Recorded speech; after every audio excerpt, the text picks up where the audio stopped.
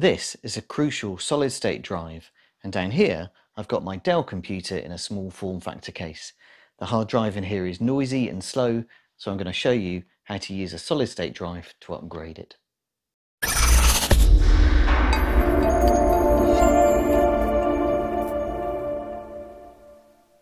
Hi there, I'm James and welcome to Mostly Helpful, or if you're one of the 0.5% of people who watch my videos who are subscribers, welcome back.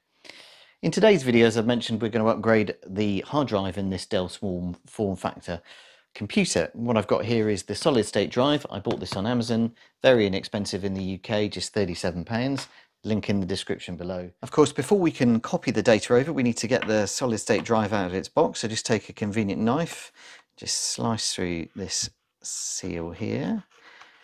I'm going to get it out. Could have gone through the top one to be fair. It's amazing how small these things are, isn't it?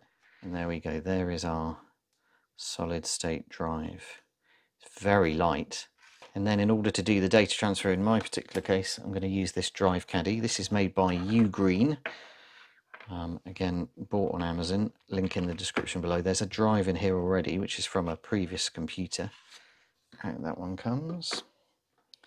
And then in goes this nice new one. There it is.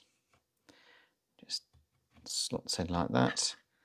And then the cover goes back on and we're ready to go. This is the hard drive caddy I mentioned before.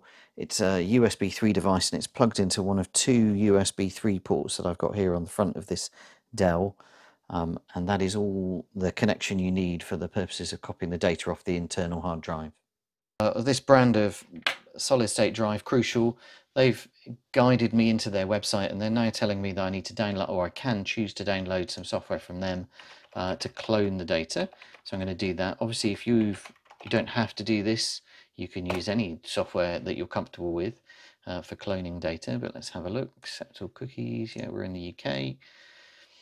Uh, da, da, da, so then I'm going to download this software and then go through their process of cloning the data off my existing regular hard drive into the SSD.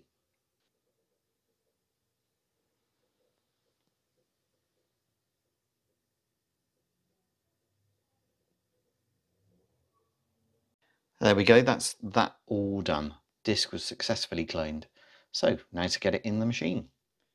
So here we are with the PC itself in its small form factor. It's very simple. I've taken one of these apart before on one of my previous videos about upgrading the graphics card. You've got the screws here on the back, which undo. If you haven't got these, the, the ones you can do with your fingers, then it's just a sort of Phillips screw and then it is just a case of pulling that like that and then the lid comes off and then what we need to do is get inside and access the hard drive. I'll show you how to do that I can remember. What you have to do is firstly remove the fascia so these clips here so one two three and if you just in my case I'm just going to hang this off the desk and just kind of folds out like that put that to one side. Then for memory, what we need to do is get this piece, I think it slides forward and tilts up, but let's just get the screwdriver. So Phillips head on there, posi drive, whichever. There.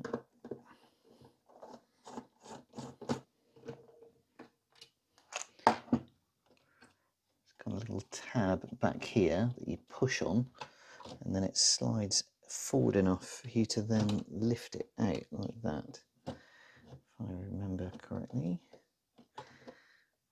and then that enables you to lift this bit out here it is and then this is where we've got the original hard drive first person to spot the schoolboy error I've made this is a three and a half inch drive and I've bought a two and a half inch replacement and I do not have a bracket. We'll cross that in a minute. So then unplug the data cable and unplug the power cable. There we go, that's our Seagate one terabyte Barracuda drive. So I've just ordered a hard drive 2.5 to 3.5 adapter in order to be able to put the drive into this holder here. Um, but let's just um, carry on and get as far as we can go. So then this is the SSD now with all the data that from the cloning process. Again, using this caddy, it's just a case of sliding it out, he says. Now, because the SSD is in a in a plastic case like this, what I could do is I could just sort of stick it to the roof of this here with some double-sided tape, and then that would sit there with the with all the connectors in the right place. I'll show you that. It's here, um, and just and then I could install it like that, and it would be absolutely fine. But it feels a bit cronky, so I've ordered um, an adapter. So it's a few days later and my bracket has arrived, uh, which I ordered earlier.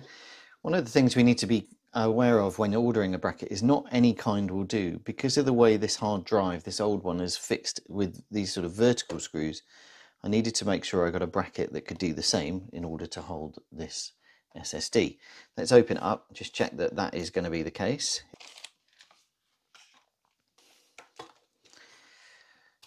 what I can see here is we've got holes the in this vertical plane that in, means that it can be correctly attached into this silver bracket that's the original part of the Dell machine.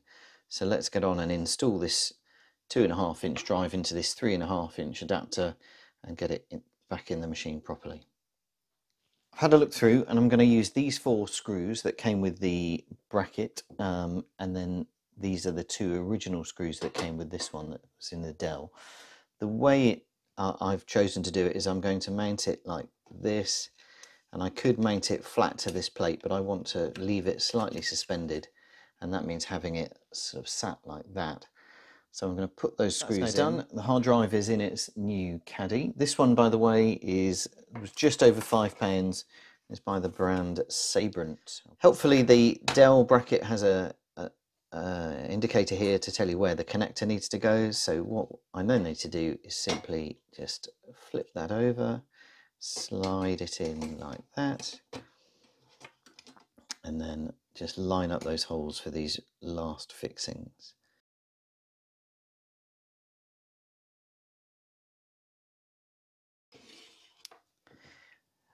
And there we go, that's that uh, 2.5 SSD in the uh, adapter then in the bracket for the Dell machine so it can now go straight back into the case. As before it's just a case of connecting up the power and the data so let's do the power. The bigger one slides in there and then the data that one slides in and then just turn that over and slot it back in.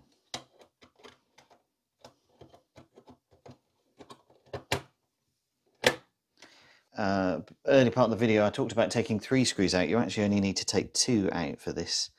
Uh, let's put those last two back. So that's this one here at the front.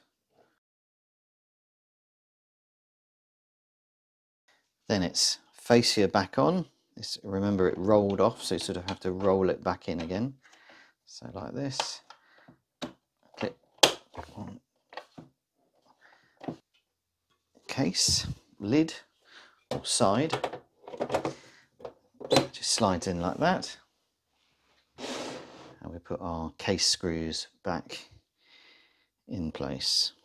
These ones are just designed to be done by fingers. You may have normal regular case screws in which case you'll need your screwdriver. And there we go.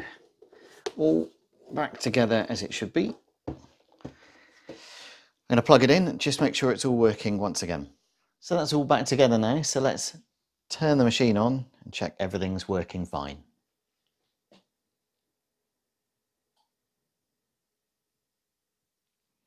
And there we go, all working well. There you go guys, I hope that was a helpful video, a really simple upgrade for your Dell or any small form factor PC, nice and easy to install. Just don't forget that in this job particularly, I needed a bracket, I forgot to order it. So don't forget to order that if you're going to do this job yourself. As always, thank you ever so much for watching. If you like this kind of content, do let me know, hit like. And if you want to see more of this kind of content, do hit subscribe. and I look forward to coming to you in a new video very soon. Thanks and goodbye.